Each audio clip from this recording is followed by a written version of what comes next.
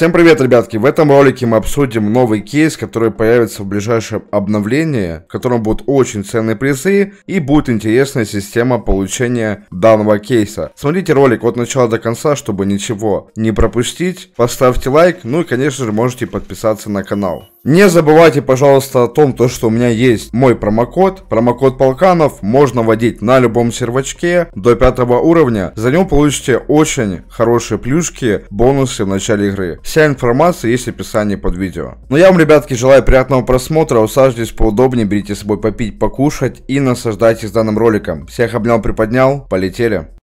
Итак, ребятки, давайте начнем с новой системы мероприятий, потому что именно там будут падать новые кейсы. И давайте рассмотрим скриншоты, которые нам предоставили, и что по этому поводу вообще написал Федя Чу. То есть, если мы посмотрим, будет получается 4 режима именно системных мероприятий. Это командный бой, гонки, паркур и режим зомби. Также можно будет много чего настраивать, то есть будет очень много всяких настроек, чекпоинты, телепорты, спавны, длительность, виртуальный мир, интерьер, время время суток, погода, коллизия. То есть можно, в принципе, настраивать все. То есть система мероприятий выйдет на новый уровень. Она будет намного удобнее, интереснее, лучше. И еще помимо этого будете лутать кейсы. Кстати, сказал то, что ранее для создания какого-либо мероприятия разработчикам нужно было бы тратить время на его создание, в том числе всякую рутину. Создание объектов, координаты, правила игры, телепорты и куча всего остального. Теперь же есть система, позволяющая нам, современным обывателям, самим создать создавать системные мероприятия на сервере и запускать для игроков, в то время как разработчики будут заниматься созданием более важными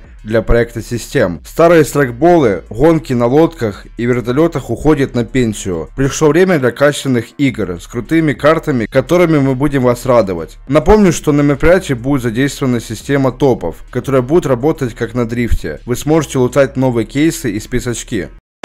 То есть, как вы поняли, будущем обновлении, которое будет буквально уже через несколько дней, скорее всего 9 мая, это не точно, но скорее всего обнова выйдет именно 9 мая, как это обычно и происходит, возможно будет какая-то задержка, но теперь вы знаете то, что будет новая система мероприятий и будет система топов, как в дрифте. То есть в дрифте вы там смотрите, там топ-10 получается, и кто находится в топ-3, тот получает кейсы. Здесь будет похожая система, и вы тоже сможете раз в неделю там получить кейс, возможно и не один. Я не знаю, каким образом она будет считать. Возможно, будет считать, э, у кого там больше побед, у кого больше участий, либо еще какие-то критерии. То есть именно критерии непонятны, какие будут для того, чтобы получить этот кейс. Но я думаю, выйдет уже обновление, и там будет все более понятно показано и рассказано.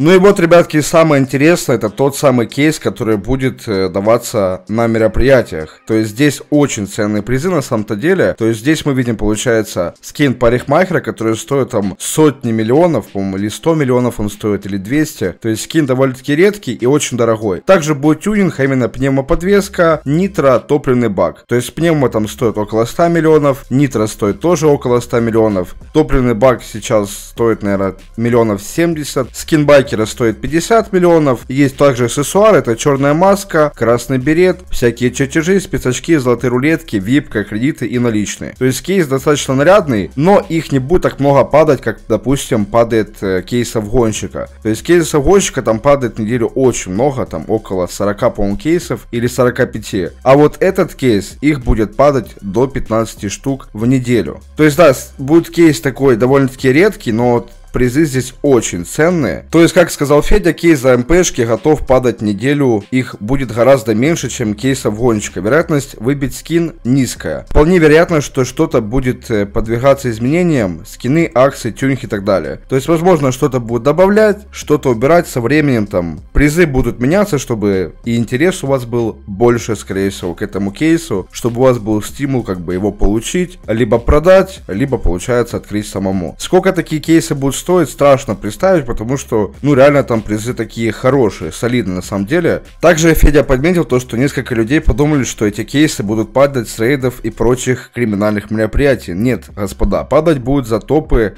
в новых системных МП, в компьютерном клубе. Раз в неделю, до 15 штук на сервер. Ну, в принципе, это и вся информация, которая доступна в данный момент. То есть, на самом деле, мало информации есть про обновление. То есть, есть там пару моментов, которые я, в принципе, могу вам показать в следующем ролике. Собрать, так сказать, все спойлеры и записать для вас видео, в котором я все это покажу. То есть, помимо ивента, я думаю, должна еще выйти обнова. Там добавят новые обвесы, новые системы, возможно, новые работы, новый маппинг, ну, точнее, изменят карту там и так далее. Поэтому, я думаю, обнова будет реально сочно. Осталось реально буквально несколько дней. Будем надеяться, то, что все-таки обновление выйдет вовремя, а именно 9 мая. Но вы можете в комментариях написать свое мнение, что вы думаете по поводу всего этого, по поводу этой системы мероприятий, по поводу кейса. Нравится ли вам призыв в кейсе? Возможно, вы что-то бы добавили, либо что-то убрали. Можете написать об этом в комментариях. Мне будет интересно почитать.